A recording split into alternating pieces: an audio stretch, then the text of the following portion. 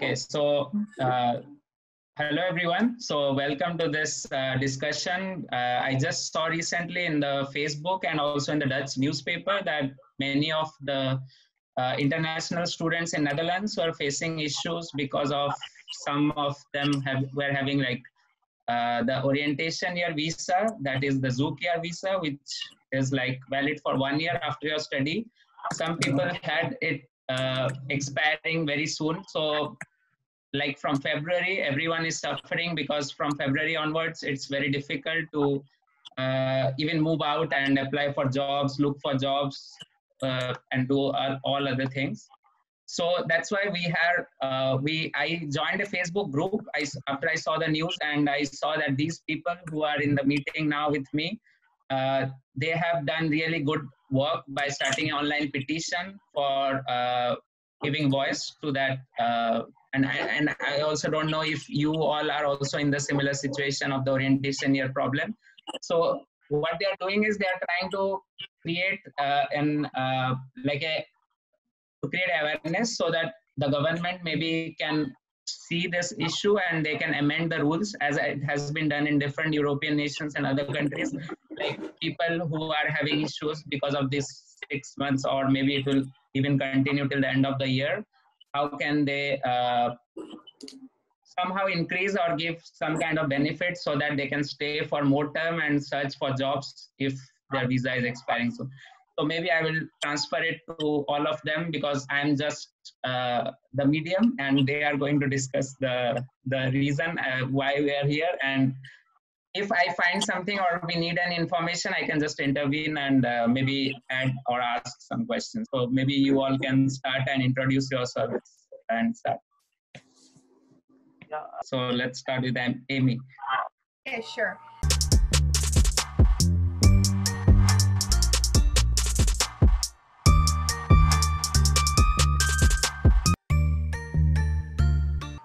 First of all, thank you for uh, this great opportunity, which is not going to only benefit uh, us as the first leaders and uh, admins of this group, but also a lot of other international students are, done with their studies in the Netherlands. And uh, second, I would like to, uh, in my own turn uh, elaborates on the issue that we are uh, encountering, and uh, it's I think most of it is you know shared with other students or graduates. But uh, for me, as an Iranian student, it was even uh, harder because I had to also go through other dilemmas. Um, and uh, third, I hope that this story can uh, help the authorities to understand the motivation, the courage, the stamina that we have in order to establish ourselves as successful immigrants.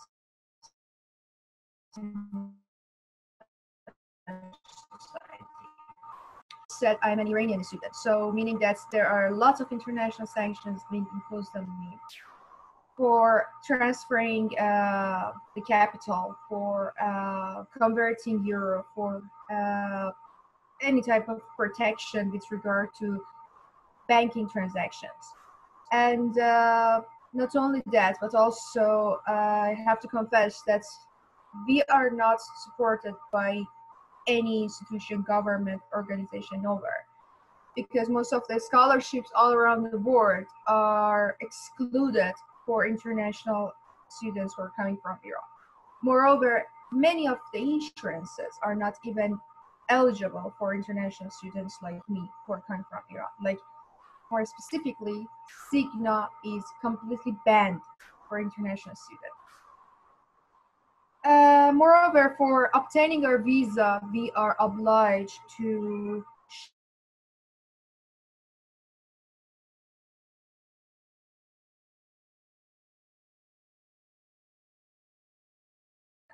so we can completely uh, sympathize how difficult it might be to rent a house from a country that even doesn't have credit card and um, to go through all those arrangements to obtain our visa.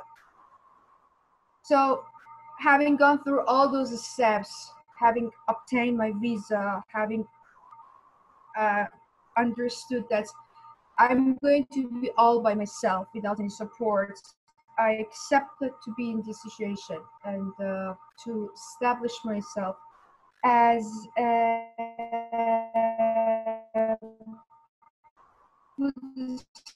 student and later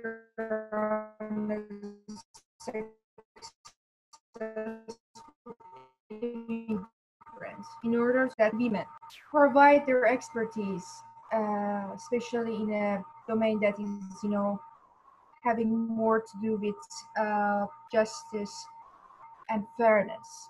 And with this great hope and goal, I came here in order to create my future. When I was um, done with my studies at Leiden universities uh, in the major public international law as my second master, I was sure that I can uh, be employed in a position that is suitable for me because previously I have a, had you know four years of experience. I speak four languages. I have four degrees, and uh, I think most importantly, I am so much willing to dedicate everything I have obtained to the Dutch society because this was the goal with which I interned here. Uh, I think I started uh, applying for jobs since October 2019 and so far i assume it would be around like 1200 jobs that i have applied to. And unfortunately most of the jobs that i applied to and the interviews that i had uh, were either rejected or they were put on hold specifically after the start of pandemic because uh, we were told that it's uncertainty uh, there is no guarantee. We do not know when to start. So everything is being put on hold. And um, of course, the entering the Dutch market was already so difficult. I would say specifically for a person who was in law, and uh, now it's even worse because uh, the market is being slowed down, and uh, we are facing another challenge. And um, when I review my own objectives with which I entered this country, I'm still resolute for achieving whatever I aimed for.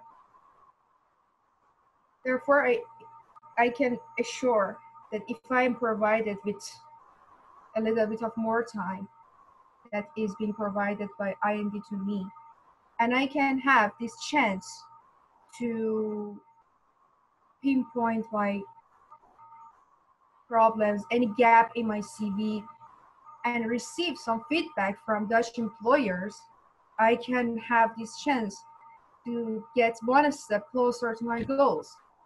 I'm not asking something you know, extraordinary.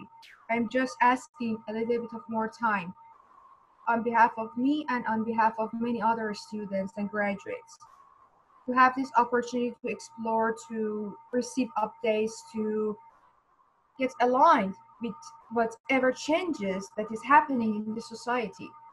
And uh, we have an aim. We would like to contribute. We are the ones that have brought a lot of expertise, skills, knowledge to this country. We are really considered as intellectuals. We want to establish ourselves here. We want to contribute. So if there is there are people in the future who can contribute and who can reconstruct the economy of the netherlands many of them are the immigrants are the skillful immigrants so i really would like to see that our objective is being fulfilled and we can be provided an extension of our visa to achieve our goals thank you Okay, so uh, I will also leave in the description below the link for the petition that you have already got like more than thousand signatures, if I'm not wrong, or how much is it the current number? Every day it's increasing, so Okay. it's hard to mention a specific number at every single moment because every day the number of advocates of these petitions uh, are increasing. So, uh, but as you can see in our group and in our petition, it's not only me. There are lots Yeah, of yeah, yeah. other yeah individuals who are in the same situation. Okay, so yeah, I will leave it in the description below the Facebook group and the petition, and they have already been covered by the Dutch newspaper. So I'm just doing my two cent uh, uh, like help so that I can do something. And let's move to Varsha then next. Thank you.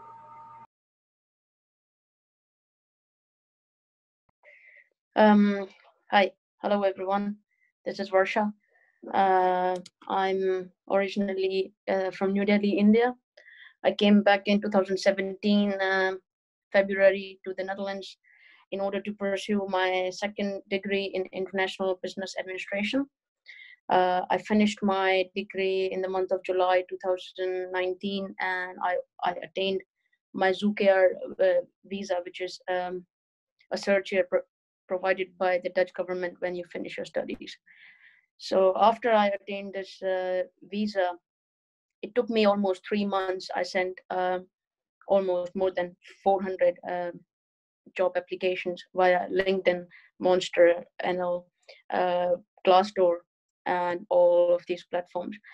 But uh, eventually, I got a job uh, working in a retail sector. I was working there as a marketing for B2B clients. Uh, it was a watch and jewelry company. Uh, they had a lot of B2B clients in UK, uh, USA, Australia, New Zealand. So I was handling their English market. Uh, but because of the corona, uh, by the end of uh, January, they just said that you know the condition are getting worse and worse uh, because because most of their uh, products is coming from China, so they are not able to get their raw material in order to make their product. And a lot of their B2B stores were just shutting down because of Corona, so they were barely making 20% of their um, entire profit. Hence, they they decided to terminate contracts for the employees who are not like in this organization for more than one year and this is how i lost my job in the netherlands market. And after that i like i spent almost 45 days uh, every day applying for at least 50 applications. I'm not getting like my entire inbox is full of applications but uh, there was no luck at all. Because of corona i have several emails in my inbox stating that they have freezed their uh, they're like they have completely freezed their applications or they're not accepting applications because of corona because there's no certainty when it will be over and when they will be uh, available in the market. So i think that that is the reason uh, why we created this uh, a small group. Like we started with a small number we started with the 100 and now we are already 585 members and then like the numbers are increasing every day. Uh, few of the dutch news have already covered us uh, nos covered um, our news uh, dutch review uh, dutch uh, nl.com and now there's another one this morning which covered our news which is nl times uh, we also got a reply from a member of parliament who's uh, from the party called Democratic 66, and they said that they will certainly raise this issue in the parliament, and we just hope for the best. And I think uh, the Dutch government should really consider extending for another year because uh, it it is always um, a case of barter. So it's, it's not it's not beneficial for us only. We are really beneficial sources for the Dutch economy because uh, they need uh, you know we like if you're coming to the Netherlands for higher stu- higher studies, I think we are also doing brain drain. So we are just really uh, resourceful resources for Dutch economy, and if chances will be given, we can prove that. And yeah, that's my short uh, appeal to the government to think about it, to think about uh, all the expats, because in the future there will be more international students coming in the Netherlands to pursue their education and to consider this a valid point. They should uh, make it as an exception because the entire world is, uh, you know, suffering from this pandemic, and I hope that uh, the Dutch, Dutch government will do something about it. And we we like it's our sincere request to them to consider it And if they are listening to this video or watching this video, uh, it's a like really uh, deeply concerned topic that they should you know put some limelight or focus about it. That's all. Thank you. Okay, so we can go to the last participant, Yuvendran. Okay, uh, so hi, um, I'm Yuvan. Uh, I'm from uh, Malaysia. So I started uh, before this, uh, before the interview. So I would like to thank uh, uh, for giving me uh, and us an opportunity to uh, to discuss this matter.